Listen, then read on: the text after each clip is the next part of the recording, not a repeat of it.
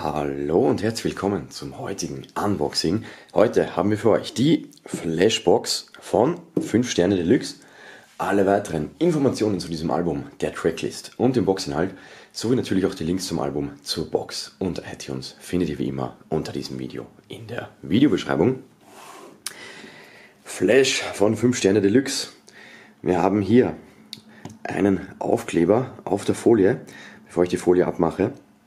Und hier ist aufgelistet, was uns in der Box alles erwartet. Also, wir haben ein Album, also eine Album-CD, inklusive 3D-Booklet, eine Instrumental-CD, eine Bonus-DVD Behind the Flash Flash, eine von fünf Pimmels Schlüsselanhängern, ein 3D-T-Shirt in der Größe L, eine 3D-Brille, Sticker-Set und Wechselcover-Cards.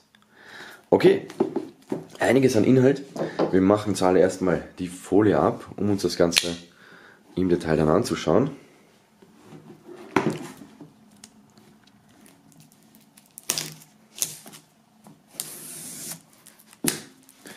So. Im Jahr 2000 ist das letzte Release von 5 Sterne Deluxe rausgekommen, das letzte Album. Also 17 Jahre mussten Fans, musste Deutschrap darauf warten. Wir haben hier eine relativ flache Box, quadratische Form. 5 Sterne Deluxe lesen wir hier oben links Eck, rechts oben Flash und wir sehen eine Hand mit einem Blitz, einen abgeschnittenen Arm mit einem Blitz. Und ja, das Ganze erinnert schon sehr stark an diese 3D-Optik hier mit diesem Rot-Grün. Also müssen wir uns dann anschauen mit der 3D-Brille, wie das Ganze aussieht. Und hier unten, schwer zu sehen, aber hier haben wir einen Aufkleber, einen FSK 16 Aufkleber, den wir natürlich, nachdem es nur ein Sticker ist, gut runter machen können. Schauen wir gleich mal. Jawohl, sauber. Auf jeden Fall besser, als wenn das Ganze aufgedruckt ist. Gut, die Box an sich, wie gesagt, relativ flach gehalten. Flash 5 Sterne Deluxe, lesen wir hier rechts. Oben blank schwarz, links nochmal Flash 5 Sterne Deluxe. Und auf der Rückseite haben wir die Tracklist des Albums, 20 Stück. Und hier nochmal im Boxinhalt aufgelistet, einen Barcode und die Credits. Okay, bevor wir zur Tracklist kommen, schauen wir erstmal hinein und werden die Tracklist dann beim Album ansehen. So, Deckel ebenfalls schwarz innen. Dann haben wir das Album, das 3D-T-Shirt. Das dürfte dann wohl das Sticker-Set sein. Einen Einleger zur Info der FSK-Kennzeichnungen. Den werde ich mal wegwerfen. Dann haben wir hier die DVD, die Instrumentals zum Album, die 3D-Brille und eine von diesen Pimmels-Figuren. Okay, Box machen wir wieder zu. Und nachdem hier wirklich alles, bis auf das Stickerpaket, in Plastik eingeschweißt ist, also wirklich alles, werden wir das Ganze mal eins nach dem anderen öffnen. Und damit wir dann nicht immer unterbrechen müssen, direkt mal alle hintereinander öffnen und dann eben die einzelnen Inhalte ansehen. So, einmal die Instrumentals. Dann haben wir natürlich noch die DVD.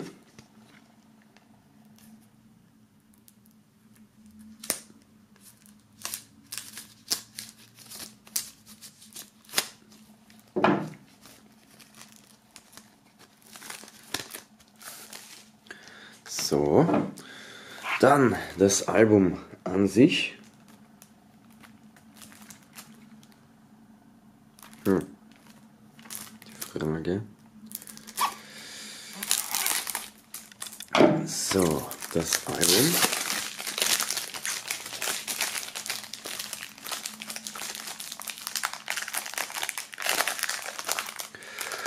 Ja, wenn es dann auch mal aus der Folie gehen würde. Einfach hier auch nochmal einen Schnitt. Jawohl. So. T-Shirt können wir auch gleich auspacken. Also ihr seht jede Menge Plastik hier am Start.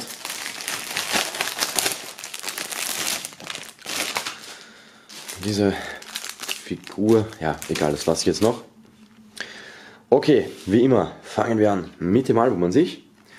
So sieht das Ganze aus. 5 Sterne Deluxe. Das Cover kennen wir bereits von der Box, allerdings hier nicht in dieser 3D-Optik, sondern regulär. Und auf der Rückseite haben wir die Tracks, 20 Stück an der Zahl. Und mein Favorit des Albums nach dem ersten Mal durchhören ist Track Nummer 1, Flash. Wir haben hier keine Features, wie wir sehen. Also das Album, also zumindest was den, was den Rap betrifft, ähm, sind nur das Bo und Toby Thompson. Die beiden Künstler, die hinter 5 Sterne Deluxe stehen.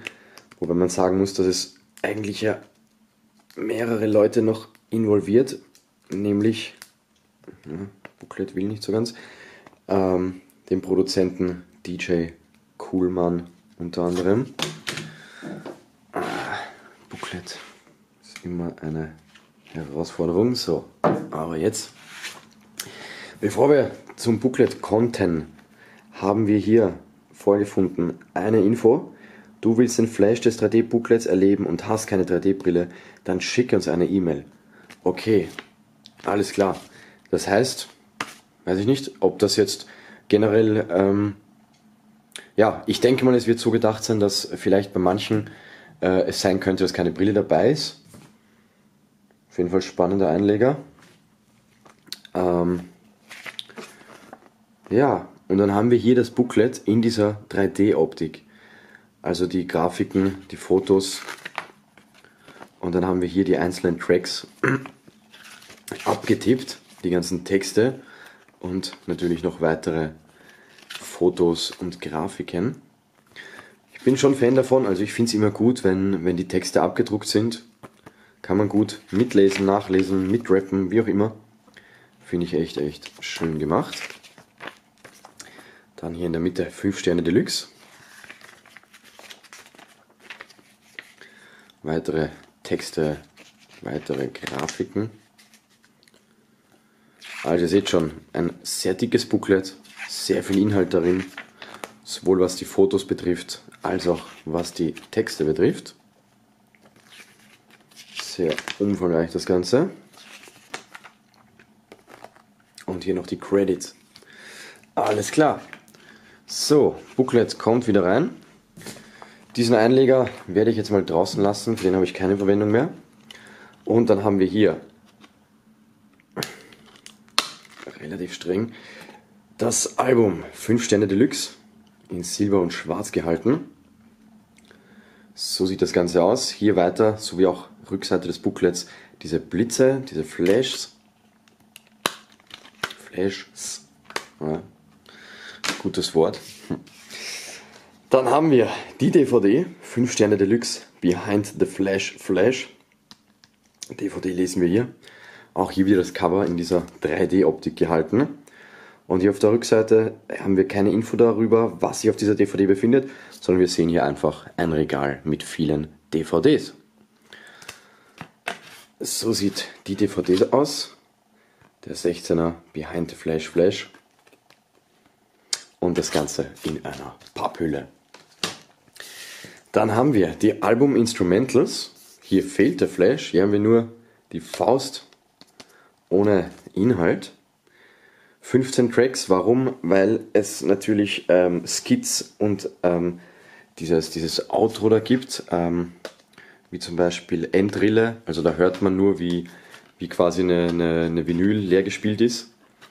Dann am Ende Deswegen die Differenz von Albumtracks und Instrumental Tracks. Dann haben wir diesen Anhänger hier, Schlüsselanhänger. Was steht hier? Warner Music Group, Germany Holding GmbH, Hamburg. Alles klar. Und wenn ich es richtig verstanden habe, gab es den Schlüsselanhänger in fünf verschiedenen Ausführungen. Das heißt, es ist natürlich dem Zufall überlassen, welche von diesen Figuren ihr bei euch vorfindet.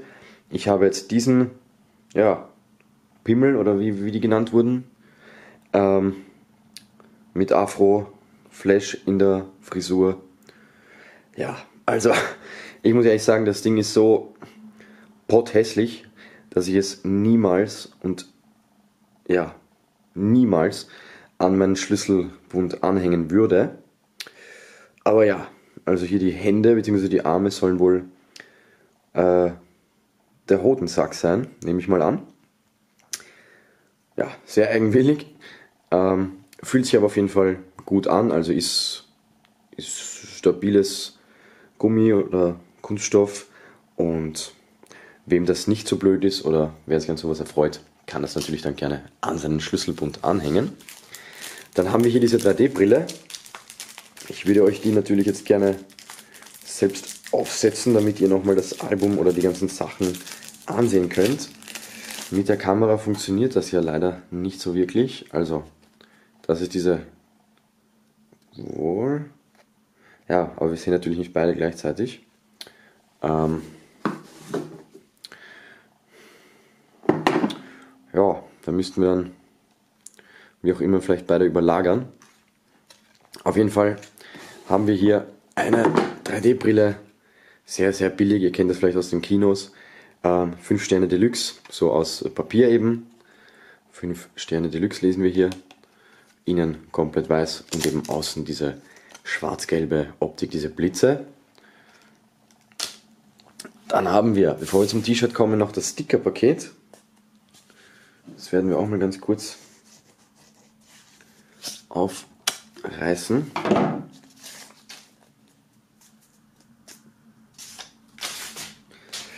So, also wir haben kleine quadratische Sticker, die sehen so aus.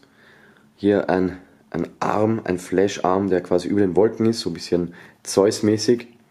5 Sterne Deluxe in schwarz und silber gehalten. Dann nochmal das Albumcover inklusive Schriftzug und Logo. Ein Pferd, wo hier mehr oder weniger ein Einhorn, ein, ein Arm aus der Stirn wächst. Und hier nochmal der Flash-Arm, der aus dem Hundenapf kommt. Also diese ebenso kleine quadratische Sticker. Und dann haben wir auch noch diese Karten, die man eventuell als, als Wendecover verwenden könnte, stand ja auf der Verpackung. Einmal eine Katze mit Flash-Händen, geflasht. Dann hier so ein Matrosen, passend zu Hamburg und hinten immer der Verweis, wer das designt haben dürfte. So sieht das aus. Also ihr könnt euch natürlich dann für eines dieser Motive entscheiden und das in euer Album reinmachen. Als Alternativcover, ich muss ehrlich sagen, das gefällt mir fast am besten. Sieht richtig geil aus hier mit den Palmen und der Sonne. Und dann haben wir als letzten Bestandteil der Box noch das T-Shirt. Schauen wir gleich mal. Es ist tatsächlich vom Druck her, von der Optik, ein 3D-Motiv. 5 Sterne Deluxe lesen wir hier auf der Brust. Diese 5 Sterne. Ansonsten kein Aufdruck, kein Backprint oder Neckprint. Und wir haben hier leider nur die Info, Größe L, sonst nichts. Jetzt schauen wir noch mal kurz, ob sich vielleicht hier unten noch ein Zettelchen versteckt, wo wir hier irgendwo... Jawohl, hier haben wir noch ein Etikett, sehr schön. So, was lesen wir hier? Ein Continental-Shirt. Responsibly sourced for brands who care. Sehr schön, also kein 0815 Fruit of the Loom oder Gilden. Continental Clothing Fair Wear Foundation. Okay, sehr gut. 100% Baumwolle. Und das Ganze ist made in Bangladesch. Schauen wir uns mal kurz an, wie das Ganze getragen aussieht.